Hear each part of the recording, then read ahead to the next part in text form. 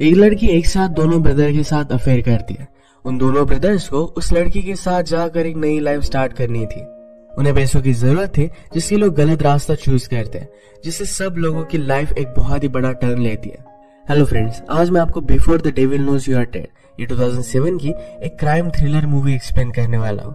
अगर आपको वीडियो अच्छा लगता है तो प्लीज़ इसे लाइक और कमेंट ज़रूर कर दीजिएगा। नेक्स्ट तरीके एक्सप्लेनेशन स्टार्ट करते हैं। मूवी स्टार्ट होती है और हम हमारे मेन कैरेक्टर जीना और एंडी को इंटीमेट होता देख सकते हैं। ये वैकेशन के लिए न्यूयॉर्क से दूर ब्राज़ील में आए हुए हैं। अपने सब वरीज को छोड़कर इन्हें यहाँ पर रहना बहुत ही अच्छा लगता है। जीना कहती कि अगर तुम्हारे पास बहुत सारे पैसे होते तो हम लोग यहाँ पर रह सकते थे। एंडी ने कहा कि इस बात पर मैं जरा सोचूँगा। जीना बहुत खुश थी और वो रोने लग जाती है। सब वरीज छोड़कर जिस तरीके से एंडी उसे प्यार कर रहा है, ऐसा उसे न्यूयॉर्क में नहीं करता। जीना को भी न्यूयॉर्क में बहुत ही घटिया लगता है। इसके बाद हम एक ओल्ड लेडी को ज्वेलरी शॉप में देखते हैं। शॉप ओपन करने के बाद एक आदमी उसे लूटने के लिए आ गया। उसे गन दिखाता है और सबको ज्वेलरी देने के लिए कहता है। वो बेचारी ओल्ड लेडी बहुत ही डर गई थी। इस रॉबरर के पास उनके सेफ़ के कॉम्बिनेशन भी थे। ज्वेलरी कांच के बॉक्स में पड़ी हुई थी। इसकी चाबी ओल्ड लेडी उसे दे देती है, पर फिर भी कांच टूट नहीं रही थी। रॉबरर ने इसे तोड़ने की बहुत कोशिश की, पर जब वो डिस्ट्रैक्टेड था तो जहाँ से उस ओल्ड लेडी ने चाबी निकाली थी वहाँ पर गन भी थी। वो लेकर उसे शूट कर देती है। रॉबरर ने भी उस ओल्ड लेडी को शूट कर दिया। उसकी गन नीचे गिर गई और वहाँ से वो भागने की कोशिश कर रहा था। तो ओल्ड लेडी फिर से उसे शूट कर कर मार डाल दिया। घायल होकर वो शॉप से बाहर निकला। तो उसका पार्टनर बहुत ही ज़्यादा डर जाता है और वहाँ से वो भाग गया। जो आदमी भागा है, वो हमारा और एक मेन कैरेक्टर है। इसका नाम है हैंग अब हमें हैंग की बैक स्टोरी पता चलती है। तीन दिन पहले अपने बेटी का गेम देखने के लिए गया हुआ था। यहाँ पर हैंग का ब्रदर एंडी भी आया हुआ है। हैंग अपनी बेटी से बहुत प्यार करता है, पर उसकी वाइफ से उसका डिवोर्स हो चुका है। आजकल उसे चाइल्ड सपोर्ट देने के लिए भी पैसों की बहुत ज़रूरत है। ये बात एंडी को पता है। वो अपनी बेटी को घर पर छोड़ने के लिए आया तो उसकी वाइफ भी उसे बहुत गालियाँ देती है। लास्ट कुछ मंथ्स के पैसे उसने उसे दिए नहीं है। हैंग अपनी बेटी को एक अच्छा एजुकेशन देना चाहता था तो इसके लिए वो बहुत ट्राई कर रहा था। रात में उसके ब्रदर एंडी ने उसे बार में बुलाया। एंडी कहता है कि मेरे पास एक गाइड है, ये बहुत ही इजी मनी होगा। हम एक प्लेस लूट सकते हैं। हैंग ने कहा कि यह तो बहुत ही सीरियस क्राइम है। ये सब मैं नहीं कर सकता। एंडी ने कहा कि इतना भी कुछ भी सीरियस नहीं है।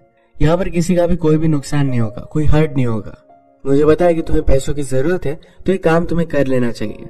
हैंग ये सब करने के लिए रेडी नहीं था, पर फिर भी वो डिटेल माँगता है। पर एंडी ने कहा, जब तक तुम मान नहीं जाते, तब तक तुम्हें कोई भी डिटेल्स नहीं मिलेगी। अगले दिन हैंग काम से जल्दी घर जाता है, क्योंकि उसका जीना के साथ अफेयर चल रहा है। इंटीमेट होने के बाद हैंग जीना से कहता है, हम दोनों को दूर चले जाना चाहिए। जीना कहती कि तुम्हारे पास कोई भी पैसा नहीं है। तुम्हारे बहुत सारे प्रॉब्लम्स हैं और इससे हम नहीं बच सकते। हैंग ने कहा कि मैं सब कुछ सॉल्व कर दूँगा। तुम सिर्फ़ आने के लिए हाँ कहो। जीना कहती कि हमारी रिलेशनशिप सिंपल है। इसे सिंपल ही रहने देते हैं। रात में हैंग अपनी बेटी का प्ले देखने के लिए आया। उस पर बहुत ही प्राउड था। उसकी बेटी कहती कि मुझे ट्रिप पर जाना है। इसके लिए उसे हंड्रेड डॉलर्स लगने वाले थे। हैंग ने इसके लिए हाँ कहा, पर उसके पास कोई भी पैसे नहीं थे। तो डायरेक्टली एंडी के पास आ जाता है। तो वो प्लान के बारे में सुनने के लिए रेडी था। हैंग ने कहा कि एक बार मैंने तुम्हें सब कुछ बता दिया। इसके बाद तुम मुकर नहीं सकते। हैंग इसके लिए मान गया। एंडी कहता है कि हम हमारे पेरेंट्स का शॉप लूटने वाले हैं।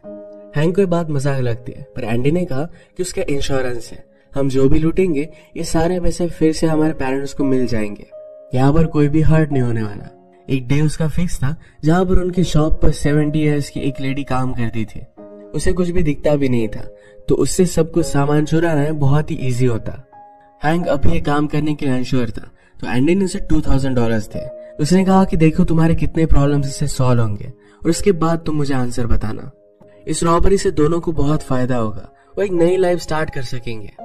रात में हैंग एक बार से मिलने के लिए आया, जिसके बारे में उसे पता है कि कभी कभी इलीगल काम भी करता है। ये काम करने के लिए हैंक ने उसे मना लिया और कुछ पैसे भी दे दिए। टू थाउज़ेंड डॉलर के अपने वाइफ के पैसे भी वो दे देता है? इसके बाद रॉबरी का दिन आया हैंग उस बारटेंडर को जिसका नाम है बॉबी उसे लेने के लिए उसके घर पर आता है घर पर बॉबी की एक वाइफ और छोटा सा बेटा था। ब्रेकफास्ट करने के बाद वो निकल जाते हैं। एक जगह पर हैंग ने गाड़ी रोकी और अपने फेस के लिए नकली हेयर सो ले लेता है। इस पर बॉबी बहुत हंसा। उसने कहा कि तुमने पहले कभी भी नहीं किया। आज सब कुछ मैं ही करूँगा। तुम सिर्फ़ गाड़ी में बैठना। जब मैं बाहर निकलू तो गाड़ी रेडी रखना। बॉबी ने अपने साथ एक डिस्क लाई थी, जिसे सुनने के बाद वो रॉबरी के लिए रेडी था। जैसे कि हमें पता है कि बॉबी को उस ओल्ड लेडी ने मार दिया था। हैंक इसके बाद बहुत ही ज़्यादा डर गया था। सारा मेकअप उसने निकाला और फिर वो एंडी को कॉल करता है। अब इसके बाद फिर से फ्लैशबैक में एंडी के बारे में पता चलेगा। एंडी आजकल पैसों को लेकर ज़्यादा तकलीफ़ में था तो ऑफ़िस में भी वो ड्रग्स करता है। उनके बॉस ने एक मीटिंग बुलाई, जिसमें उसे पता चला कि आईआरएस के लोग उनका ऑडिट करने वाले हैं। एंडी ने एक बड़ा फ्रॉड किया था, जिसके बारे में अब उन्हें पता चल जाएगा। उसका टेंशन दूर करने के लिए ड्रग डीलर के पास आया और वहाँ पर जाकर वो हाई हो जाता। उसे कहता है कि जो मैं काम करता हूँ, यहाँ पर सब कुछ चीज़ें एक सिस्टम के थ्रू चलती है। उसी तरीके का सिस्टम मेरे लाइफ में कुछ भी नहीं है। उसकी पूरी लाइफ बर्बाद हो चुकी है।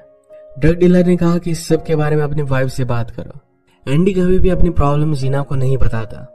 घर आने के बाद फिर से एंडी और जीना के रोमांस में प्रॉब्लम स्टार्ट हो जाते हैं। एंडी कहता है कि हम ब्राज़ील में फिर से वापस जाएँगे। सारे टेंशन से दूर हो जाएँगे। अगर उसे सीखना पड़ा तो वहाँ की लैंग्वेज भी वो सीख लेगा। इसके लिए एफर्ट्स लेने के लिए रेडी था। जिना को एक बात बहुत अच्छी लगती है। अगले दिन वो एक शॉप में आया, जहाँ पर इलीगल ज्वेलरी बाय की जाती है। तो शॉप ओनर से वो बात करता है और कहता है कि क्या अब भी तुम काम करते हो? और मैं को लग रहा था कि एंडी शायद पुलिस है तो अपना कार्ड उसे देकर चला जाता है। कहता है कि मेरे बारे में तुम रिसर्च कर सकते हो। इसके बाद ही एंडी ने हैंग को एक काम करने के लिए रेडी किया था। जब सब कुछ गड़बड़ हो गई तो उनके फादर का हॉस्पिटल से उन्हें कॉल आता है। हॉस्पिटल में आने के बाद उन्हें पता चला कि उनकी मदर की डेथ हो चुकी है। शॉप में कोई दूसरी ओल्ड लेडी नहीं तो उनकी मदर ही थी। मदर अब पूरी तरीके से अनकॉन्शियस है और बाद में वो कोमा में चली जाती है। शॉप में तो वहाँ काम करने वाली अलग ओल्ड लेडी होनी चाहिए थी। और अब ये सब हुआ कैसे, यह पिछली रात की स्टोरी से पता चलता है। इनके फादर का नाम था चार्ल और मदर का नाम था नेनेट। रॉबरी के दिन फादर की आई एग्ज़ाम थी तो वहाँ पर वो जाने वाले थे। रात में ननट को कॉल आया, जो ओल्ड लेडी वहाँ पर काम करती थी, उसे किसी और काम के लिए बाहर जाना था। ये डिसाइड करते कि चार्ल्स अपनी आई एग्ज़ाम लेने के लिए जाएगा और नेनेट अपना शॉप संभालेगी। चार्ल्स चेकअप करवा कर नेनेट को लेने के लिए आया तो वहाँ पर डायरेक्टली पुलिस थे। नेनेट को इस तरीके से देखकर उसे बहुत बुरा लगता है। डॉक्टर ने उसे कहा कि आपकी वाइफ डेड है। हम कितना भी कुछ भी करें, पर फिर भी वो इसी तरीके से रहेगी। ये सब चीज़ें हैंग हैंडल नहीं कर पाता, और वहाँ से वो चला गया था। अगले दिन पेपर में बॉबी की फ़ोटो छपी थी। ये देखकर चार्ल्स डिस्टर्ब हो जाते हैं। उन्होंने कहा कि ऐसा कोई भी कर कैसे सकता है? वो पुलिस के पास जाकर इसके बारे में और भी इंफॉर्मेशन निकलवाने की कोशिश करते हैं, पर उन्हें कोई भी हेल्प मिल नहीं पाती। उन्होंने खुद इसके बारे में बहुत रिसर्च किया पर फिर भी कहीं पर भी नहीं पहुँचते। कुछ दिन गुजर चुके थे। एंडी ने कहा कि आपको मदर को लेकर डिसीज़न लेना पड़ेगा। इस तरीके से हमेशा हम मशीन की मदद से उन्हें ज़िंदा नहीं रख सकते। इसके बाद मदर का फ्यूनरल हुआ। हैंग को बहुत ही ज़्यादा गिल्टी लग रहा था।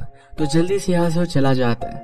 फ्यूनरल के बाद चार्ल्स ने फिर से पुलिस ऑफिसर को कॉल करने की कोशिश की, पर उसका कॉल कोई भी उठा नहीं रहा था। वो पुलिस से भी अब तंग आ चुका है। इसके बाद फ्लैशबैक में हैंग ने रॉबरी के बाद क्या किया था, इसके बारे में हमें पता चलेगा।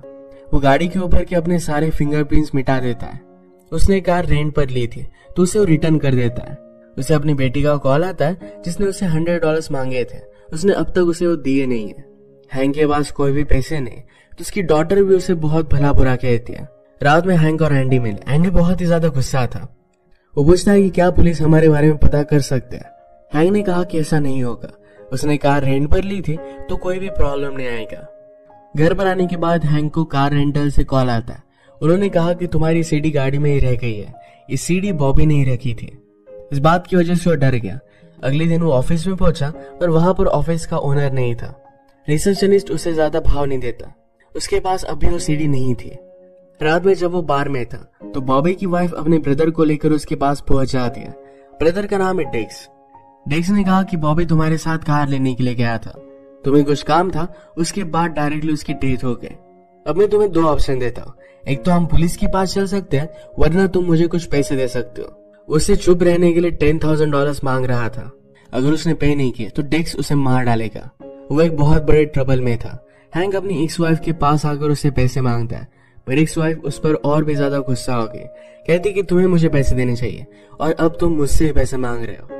हैंक गोलियाँ लेकर खुदकुशी करने की कोशिश करता है, पर ये चीज़ वो कर नहीं पाता। फ्यूनरल से बाहर आने के बाद हैंग ने जीना को कॉल लगाया। उससे मिलना चाहता था, पर जीना उसे मना कर दिया। उसने कहा कि एंडी को मेरी ज़रूरत है। अगले दिन वो कार रेंटल शॉप में आता है और उसका आईडी माँगता है। हैंग ने किसी और नाम से ही गाड़ी ली थी तो अपना आईडी और नहीं दे सकता।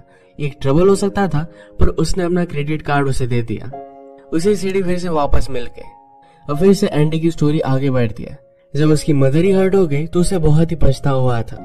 उसके ऑफ़िस वालों को पता चल गया कि उसने फ्रॉड किया है। तो ऑफ़िस से उसे बार बार कॉल आ रहे थे।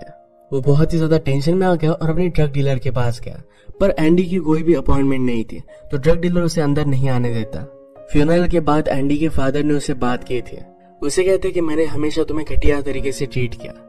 मैं डरता था कि तुम मेरी तरह ना बनो, तुम मुझसे बेटर बनो। उसे सॉरी कह रहे थे। एंडी ने कहा कि कभी भी मैं तुम्हारी फैमिली का हिस्सा ही नहीं था। चार्ल्स गुस्सा होकर उसे थप्पड़ मारते एंडी फिर जीना को लेकर घर आने लग गया। वो बहुत रोता है। जीना से कहता है, मैं कभी भी मेरे फादर की तरह नहीं बनना चाहता था। इसी वजह से मैंने कभी भी मेरे प्रॉब्लम्स तुम्हें नहीं बताया हमारे रिलेशनशिप को भी लेकर मैं बहुत डरता आ रहा हूँ। जीना समझ गई थी कि एंडी के साथ कुछ ना कुछ तो चल रहा है। वो ऑफ़िस जा रहा था तो जीना कहती कि तुम्हें आज नहीं जाना चाहिए। तुम घर वापस आने के बाद अगर मैं घर में ना रहूँ तो फिर तुम क्या करोगे? वो एक तरीके से उसे वार्निंग दे रही थी, पर एंडी को बात समझ में नहीं आई। वो जब वापस आया तो जीना ने अपने सारे कपड़े पैक कर लिए थे, और वो यहाँ से जाने वाली थी। जीना ने कहा कि मुझे तुम्हारी लाइफ के बारे में कुछ भी पता नहीं है। आजकल चल क्या रहा है, इसके बारे में तुम मुझे कुछ भी नहीं बताते। तुम मुझ पर थोड़ा भी ध्यान नहीं देते। मेरा किसी और के साथ अफेयर चल रहा है। एंडी को ये सब सुनकर बहुत बुरा लगता है। जीना ने कहा कि वो तुम्हारा ब्रदर ही है। इसके बाद वो यहाँ से चली गई। पैरेलल में चार्ल्स अब डिसाइड करते हैं कि इन्वेस्टिगेशन अब वो खुद करेंगे।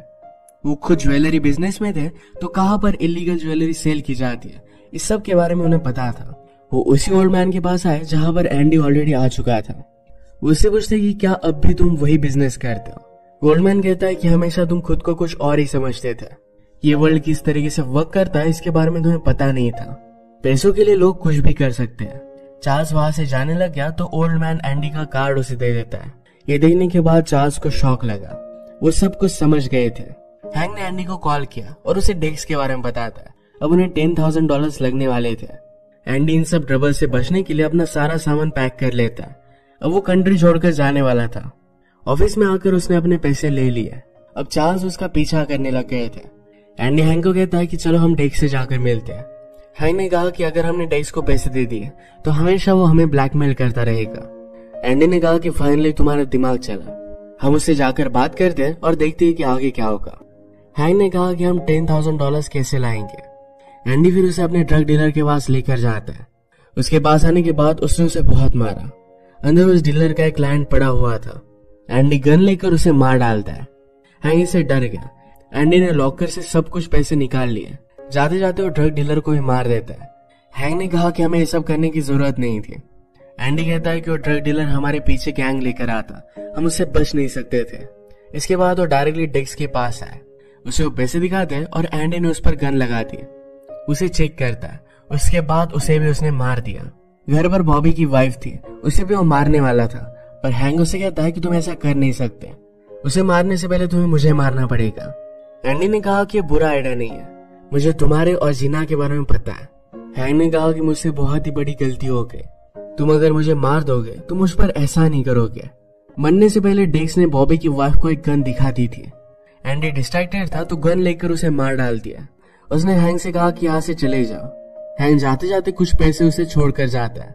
बिल्डिंग से बाहर आते हुए चार्ल्स ने हैंग को देखा था, और वहाँ से भाग जाता है। वहाँ पुलिस पहुँचते और एंडी को हॉस्पिटल में लाया गया।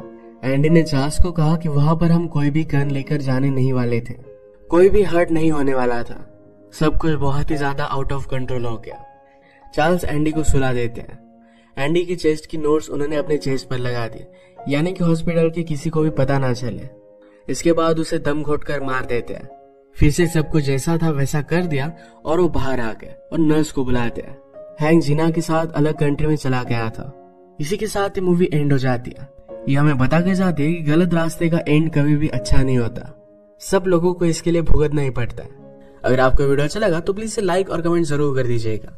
बहुत सारी मूवीज़ लेकर आते रहता हूँ तो प्लीज़ चैनल को सब्सक्राइब कर दीजिए और बेल नोटिफिकेशन आइकॉन देना मत भूलिएगा। हम फिर से मिलेंगे और एक नई मूवी के साथ। तब तक के लिए थैंक यू और आप अपने आप का ख्याल रखिए।